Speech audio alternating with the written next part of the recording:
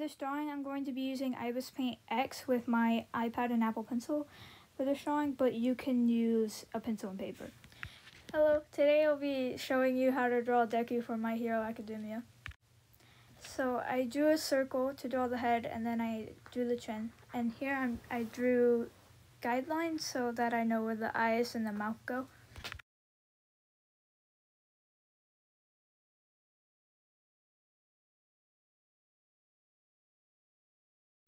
And then you want to draw the neck by going around the middle of the chin and then draw shoulders.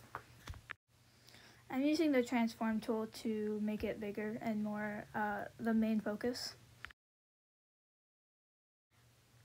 I then drew one of Deku's eyes and then later I copy and paste it. So I draw his eyebrows and then I just copy and paste the eyes because I'm lazy.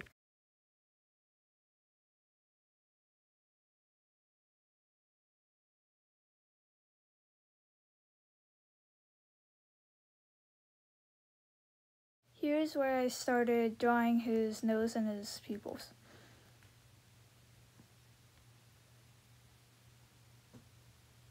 And then I draw his uh, mouth.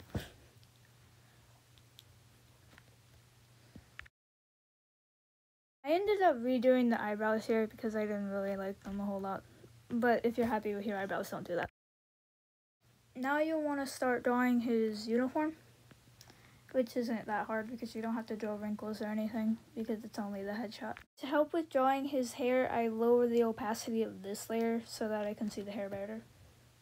Deku's hair isn't that hard, it's just a bunch of floofs, but keep in mind that they all point kind of to the right, so keep that in mind when you're drawing his hair.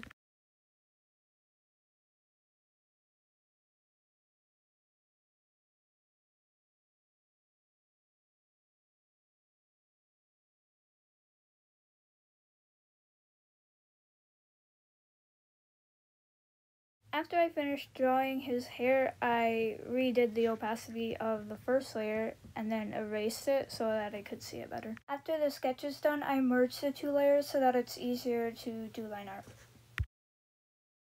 Line art is basically just chasing over your sketch so that you can color it.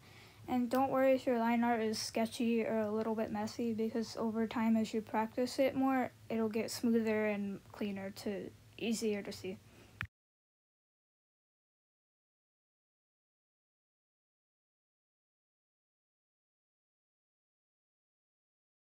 Once you finish the line art, you need to make a layer underneath the line art. And then here I'm picking a dark green for Deku's hair.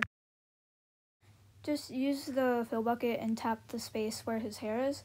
And then here I am filling in the white spaces because sometimes the fill bucket doesn't get everything.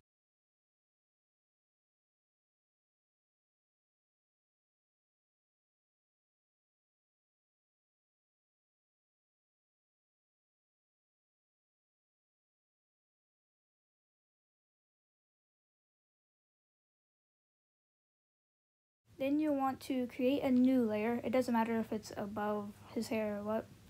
And then I pick a green, but I didn't like that green, so I picked another green for his eyes. Then you'll want to create another layer, and I just picked uh, one of the pre-generated skin tones for his skin and made it a bit more to where his actual skin tone is in the anime.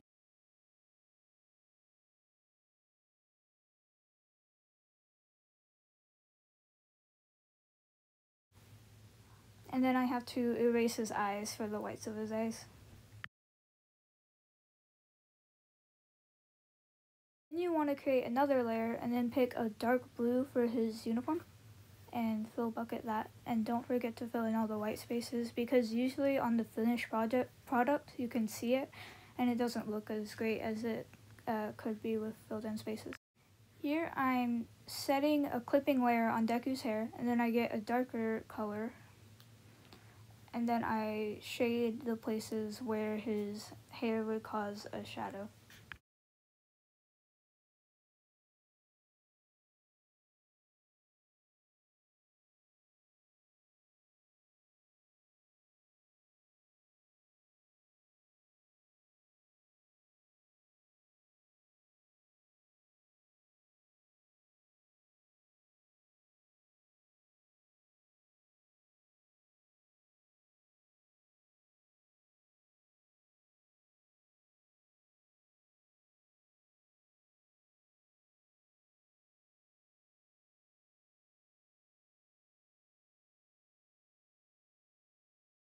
I like to airbrush the bottom part of the hair kind of so where it's closer to the skin.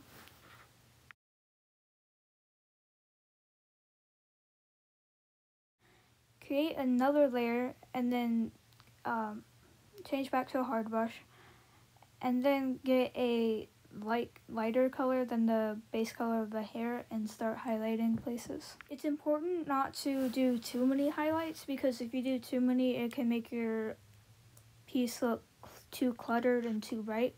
So only do it where either the light hits or where you want to draw attention to.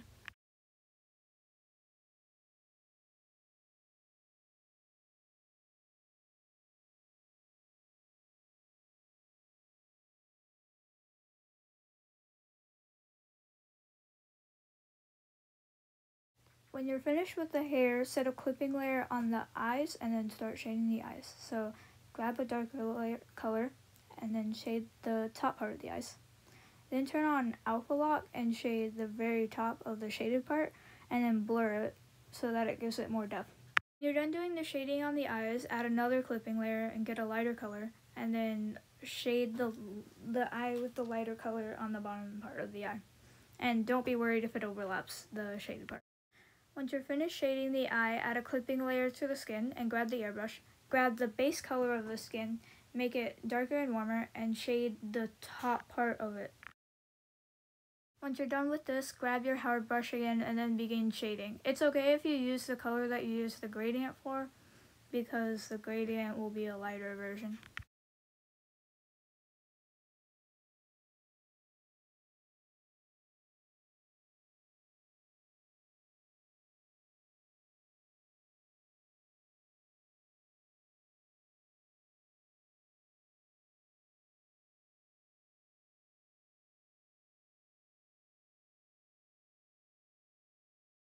When you're done shading the skin, grab a lighter and cooler version of the color and start highlighting the places where there'd be highlights.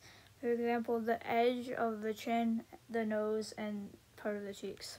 Here I got a darker version of what I used to shade and I got the airbrush and just shaded the parts that were darker just to give it more depth and to make it look nicer, but that's optional. Create a clipping layer for the uniform. Grab a darker color with your hard brush. And then there's not a whole lot of places to shade the uniform, so I just shaded the parts where it is around Deku's neck and the very bottom. I got a lighter color because the uniform is so dark that you can't really see the shading, so I got a lighter color so you, it brings more attention to the shading and it doesn't make it look just like a blob of Then you'll want to make a layer under all of your coloring layers and get a, I use a bluish gray, but you can use a gray of any color really, and I shaded the parts that are white.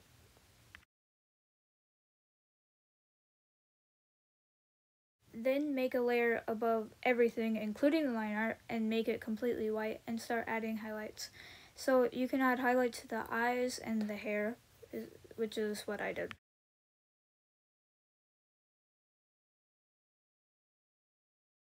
Make your drawing appear softer, create a clipping layer above the line art, and then grab a darker color of whatever the line art is on and then shape, color it.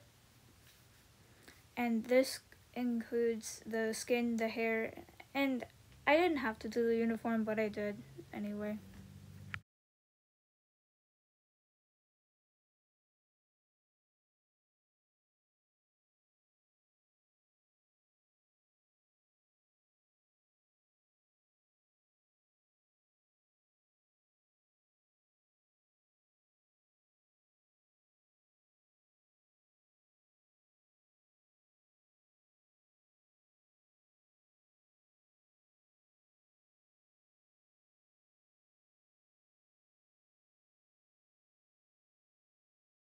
Here I'm picking a color for the background, so to do this, just go underneath all your layers. Create a layer underneath your line art and then press the filter button and then press the option that'll outline your entire draw drawing, your line art, and then put it above the background so that it gives it a white outline.